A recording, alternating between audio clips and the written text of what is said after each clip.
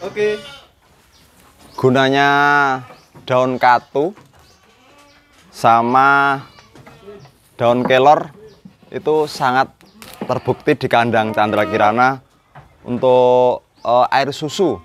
Jadi saya berikan pada kambing menyusui dan kambing mau beranak kurang satu mingguan. Jadi efeknya di susu bisa dibuktikan dan tidak pernah eh, bleset untuk pembuktian daun katu dan daun kelor. Nah ini kurangnya nih eh, Om kurang sekitar satu minggu lah kambing ini melahirkan. Nah itu Seperti ini Om ya. ya. Jadi ini full blood kan ini masih kecil itu apa ambingnya kelihatan toh? Nah nanti setelah lahir kalau dere seperti ini dere. Jadi dere itu rata-rata untuk volume susu itu keluarnya kalau mau beranak kurang satu hari. Jadi kurang satu hari mau beranak baru nanti turun eh, air susunya. Jadi perangsang saya ini. Jadi daun kelor eh, apa sama katu.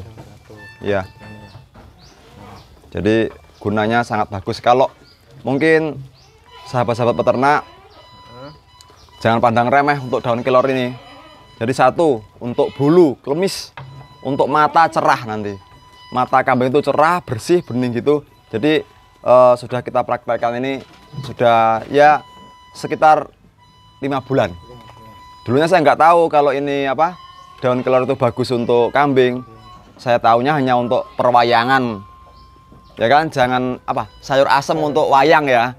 Sama katanya eh, orang meninggal itu terus melunturkan orang meni- meninggal yang punya pegangan apalah itu ya mitos sih. Tapi kalau untuk kambing sangat bagus sekali. Jadi monggo kita eh, bareng-bareng menanam apa ini kelor.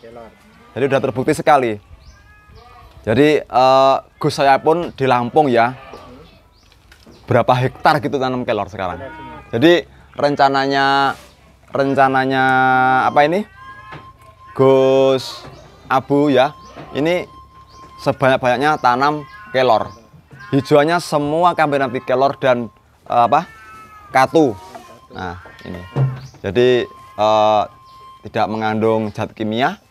Yang jelas alami kambing bagus. Bagus untuk semuanya. Dari tadi saya, saya bilang bagus dari bulunya bagus matanya. Terus yang jelas yang kita inginkan air susu induk itu Siap. seperti itu om